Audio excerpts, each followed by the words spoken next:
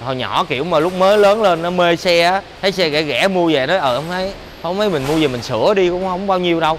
Về cái tiền sửa nó bằng cái tiền mua chiếc xe luôn á. Đâu phải ai cũng có điều kiện để mua xe mới đâu. Mà mình mua xe lướt này á, nó đỡ được cái cái cái giá lăn bánh đỡ lắm với bộ. Rồi, hello kitty đi.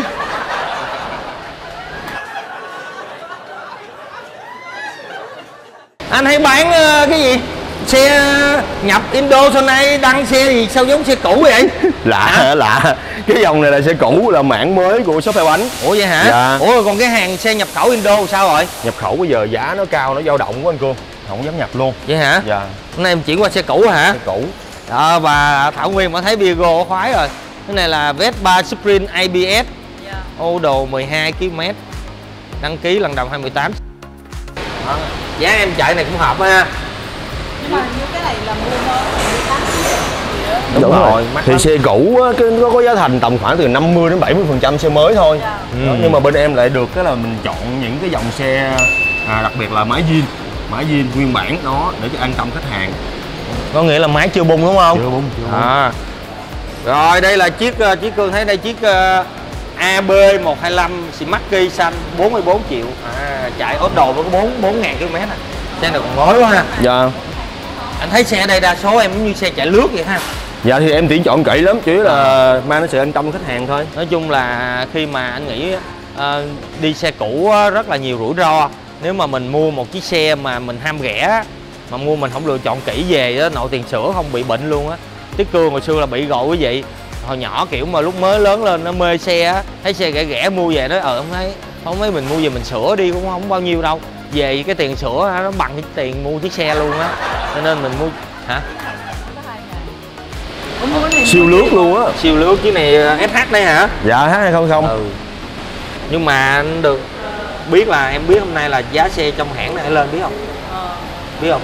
Lên khủng khiếp luôn. Vậy hả? ừ. Dạ lên lắm bữa nay á là Vision á mà một cái bản trung bình là khoảng 33 triệu á trong hãng bữa nay mà là có thể lên tới 50 triệu á. Ủa vậy hả? ừ đổi tới mười mấy gần 20 triệu á. Thành ra anh thấy mấy giá này là quá hợp lý luôn á. Chiếc này Viro nè Viro. 51 triệu nè. Nhất là mấy cái dòng video này nữa nè anh. Bây giờ nhập khẩu về giá nó đội kinh khủng đội luôn. lắm hả? Dạ. Thì ờ, nếu mà mình chọn được xe là bên em có góp luôn. Giống như kỳ trước mình mua xe đó. À. Có góp luôn. Đó. SH Mo nè. Đó quyền thoại của xe Honda Việt Nam chiếc lít nè cốp rộng hơn hai chiếc này. Chiếc này Ninja lít hot đồ có mới có 9 ngàn mà rẻ quá có 34 triệu à chiếc này bây giờ trong hãng là 50 mấy triệu quá. Ô có em nữa nè. Giống em nè. Này gì Winner hả? Winner ít anh Winner đó. Winner ít luôn. Làm chiếc luôn đi uh, Thảo Nguyên. Anh làm chiếc ủa kiến này kiến zin đó không? Kiến zin luôn anh kiến zin luôn anh. Vậy hả? Kiến zin này là phiên bản đặc biệt luôn vậy hả đặc biệt luôn Ôi chiếc này cũng ngầu quá nè anh hả Mà đi mới có 2008 Trời xe này ờ, sơn hình như mới tăng có một lần luôn mà sơn mới tăng có một lần luôn hay không? Wow. Không mà anh thấy bên em làm cái cái vụ xe cũ hay á. Dạ. Nó nó phù hợp với cái à, cái à, cái thu nhập của người Việt mình ha. Đâu phải ai cũng có điều kiện để mua xe mới đâu. Mà mình mua xe lướt này á nó đỡ được cái cái cái giá lăn bánh đỡ lắm với bộ đỡ mình mấy hai chục triệu. Trời ơi đâu phải dễ kiếm đâu. Ở đây có một con uh, Winner nữa. Winner X. Cái này là có chỉnh nhẹ cái đèn xi nhan trước rồi phải không? Dạ đúng rồi Cái làm xi lên cái nè. zin của nó đó. Rồi đây cái gì đây? Đây nguyên một dàn nguyên à, vàng leader luôn. Lin Lin Ninja X nữa. Mấy cái này cớp rộng lắm em mở cho anh coi cớp đi. Đó. Rồi cái cớp này à, Thảo Nguyên sẽ vô đây được với điều kiện là cách đây 5 năm về trước nha quý vị. Còn bây giờ thì cô ấy không lọt nữa rồi bây giờ cô ấy quá mập rồi. Thảo Nguyên giờ em cân ký dám em nặng anh lắm á.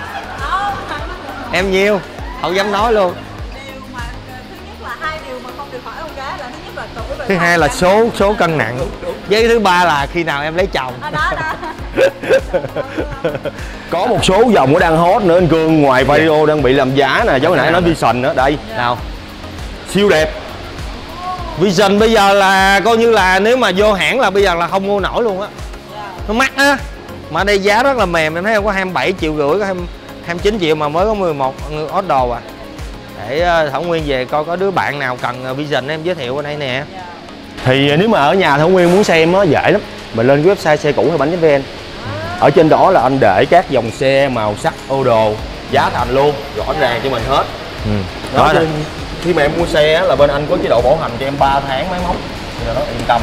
Rồi xong á mình được bảo trì một lần nữa nữa là bảo trì á. À. Là bây giờ xe em 5 tỷ bảo trì một lần trị giá của xe da là 300 và xe số là trăm hai trăm rưỡi. Rồi Thảo. Nguyên lên đây ngồi đi. Hai anh em mình mỗi người làm chiếc Vision đi rồi. Anh màu đỏ hả? Ừ thôi anh anh nữ tính anh chào mà đỡ rồi hello kitty đi. Rồi. Ok thì clip em đến đây là hết. À, các bạn muốn à, mua hàng à, hàng hóa mua mua sản phẩm dịch vụ á, thì liên hệ số la cho màn hình. Và muốn mua xe cũ thì có thể tham khảo trước trên website xe cũ hay bánh vn và à, gọi trực tiếp tới số hotline cho màn hình về mảng xe cũ có luôn. Bên em có luôn cái dịch vụ mà thu xe cũ nha với tiêu chí thương xe cũ là gì? Tiêu chí thương xe cũ là xe zin zin zin em mới mua. Còn không zin là em không mua. Ha không zin chọt chẹt này nọ là em không mua. Tại vì mình mua về thì em cũng không có muốn làm hay là mở gì hết á. Rất là sặc sụa rất là mệt mỏi. Rồi ok clip này hết. Xin chào hẹn lại các bạn. Bye bye. Với phương châm là uy tín, chất lượng và giá tốt luôn là ba tiêu chí được shop hai bánh đặt lên hàng đầu. Cùng với đó là đội ngũ nhân viên kỹ thuật nhiều kinh nghiệm được chứng minh qua sự tin dùng của khách hàng trong nhiều năm qua.